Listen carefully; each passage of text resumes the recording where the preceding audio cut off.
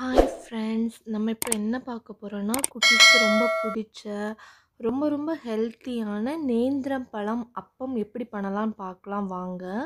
இது ஒரு நல்ல ஒரு ஈவினிங் ஸ்நாக்ஸ் கூட சொல்லலாம்.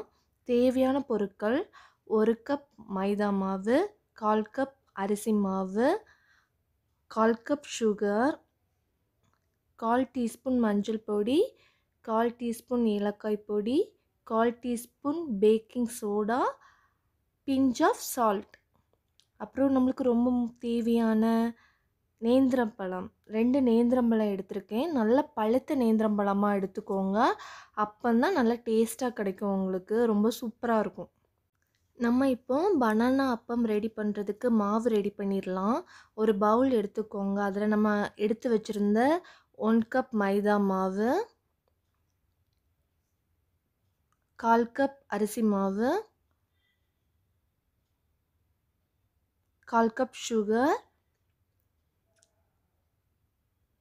அப்புறம் கால் டீஸ்பூன் மஞ்சள் பொடி ஏலக்காய் பொடி பேக்கிங் சோடா அப்புறம் கொஞ்சமாக உப்பு. இதெல்லாம் நல்லா ஆட் பண்ணிக்கலாம். எல்லாத்தையும் நல்லா மிக்ஸ் பண்ண அப்புறமா நம்ம வாட்டரை ஆட் பண்ணலாம்.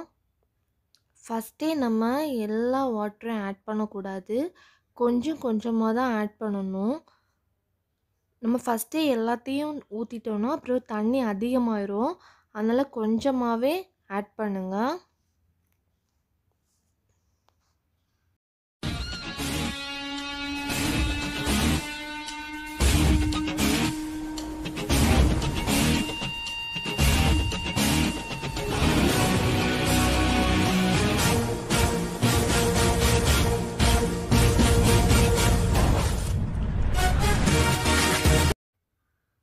மாவு ரொம்ப தண்ணியாக இருக்கக்கூடாது. இந்த பதம் தான் நம்மளுக்கு கரெக்டான பதம். நம்ம இப்போ ரெடி பண்ணியாச்சு. நெக்ஸ்ட் நம்ம பனானாவை கட் பண்ணலாம். பனானாவெலாம் ரொம்ப ஒல்லியாக கட் பண்ணக்கூடாது. கொஞ்சம் தின்னாக இருக்கட்டும். அப்போ தான் உள்ளாடி அழகாக குக் ஆகி ரொம்ப டேஸ்டியாக நம்மளுக்கு பனானா அப்பம் கிடைக்கும்.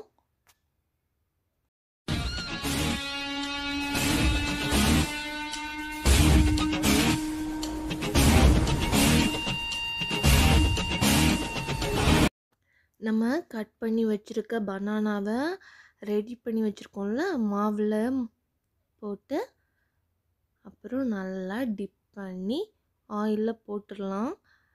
ஆயில் நல்லா ஹீட்டாக தான் இருக்குது நம்ம அதனால் இப்போ ஆயிலில் போட்டுடலாம்.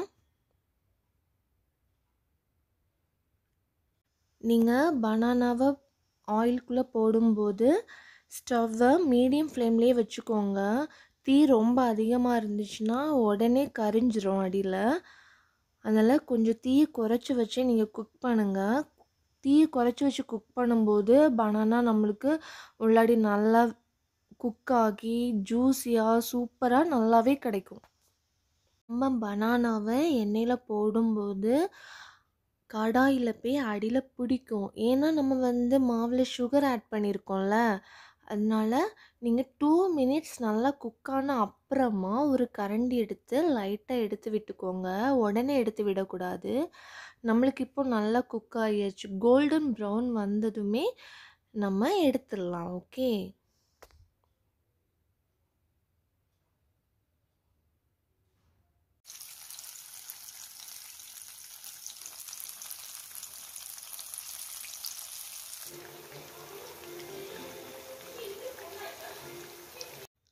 நம்ம பனானா அப்பம் ரெடி பண்ணியாச்சு.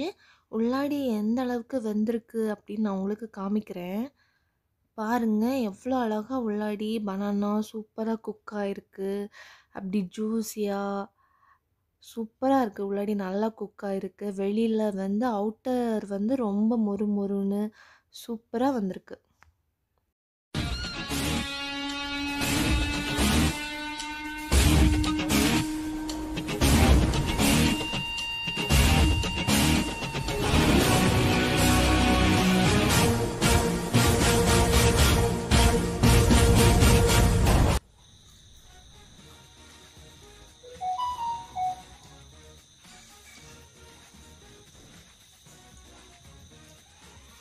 நல்லா இருக்குமா